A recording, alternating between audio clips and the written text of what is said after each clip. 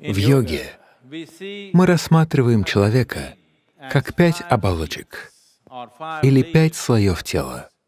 Они известны как анамая коша, маномая коша, пранамая коша, вигьянамая коша и анандамая коша.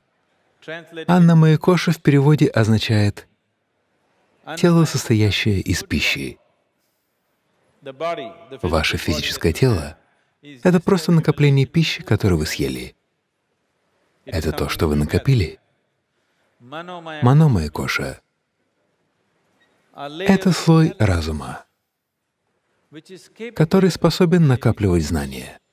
Речь идет о целом слое разума. Он не здесь или там, или где-то еще. Каждая клетка тела обладает собственным разумом, да или нет? Так что разум присутствует повсюду, знания накапливаются повсюду.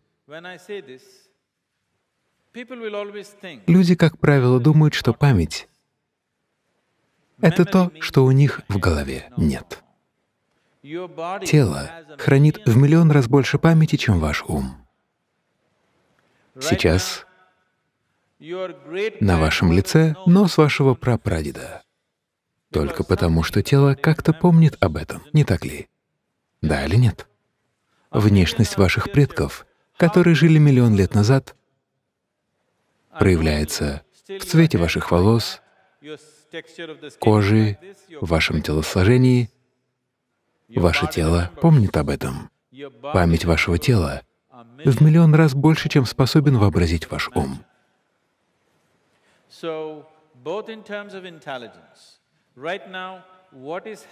Итак, с точки зрения разума, можете ли вы логически, умственно или интеллектуально понять, что сейчас происходит всего лишь в одной клетке вашего тела? Всего лишь одна молекула ДНК содержит так много информации, что ее буквально невозможно познать. Так что разум и память тела намного превосходят способности этой коробки, которую вы называете головой. Просто эта часть вашего разума может производить мысли. Вы слишком привязались к ним, и вам кажется, что разум присутствует только там. Нет. Это тело обладает гораздо большим разумом, чем ваш мозг способен представить. В этом и заключается наука йоги. Позвольте мне рассказать еще об одном небольшом аспекте этого измерения. По сути, один из аспектов йоги — это постижение геометрии мироздания. Например, Солнечная система функционирует так, как она функционирует.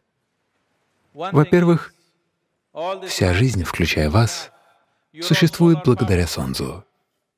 Не так ли? Вся жизнь на этой планете существует благодаря Солнцу.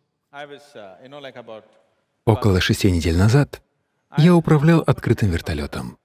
Мы летели на высоте полутора километров. Чем выше над землей поднимаетесь, тем ниже температура, и мы были готовы к этому.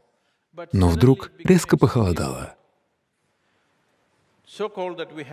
Да так сильно, что нам пришлось пойти на посадку. Налетевшие облака закрыли солнце, и внезапно стало так холодно, что мы не смогли лететь дальше. Так что мы начали обсуждать, как быстро замерзнет Земля, если Солнце исчезнет.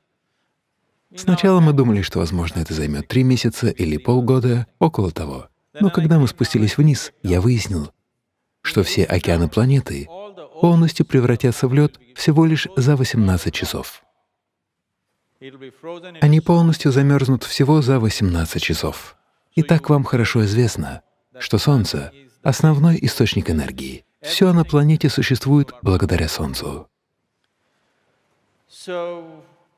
Поэтому геометрия Солнца, Земли, Луны, других небесных тел влияет на все, что происходит на этой планете.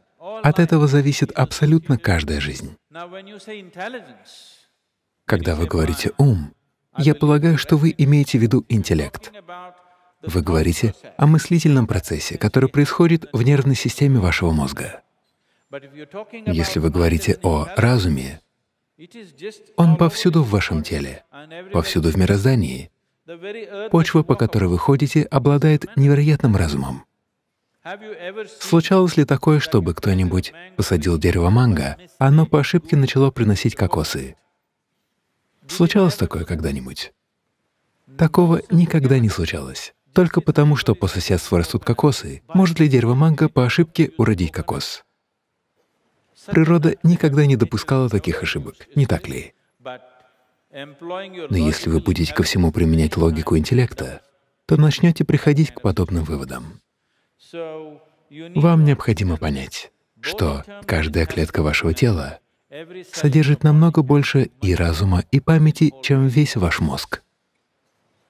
Любая клетка вашего тела, одна молекула ДНК несет столько информации, сколько не сможет обработать и весь ваш мозг. Вот сколько там информации.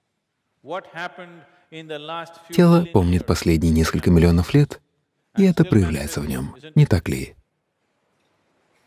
Так что разум находится не в какой-то одной части тела, и не просто внутри вас, а повсюду вокруг вас. Все мироздание — это разум.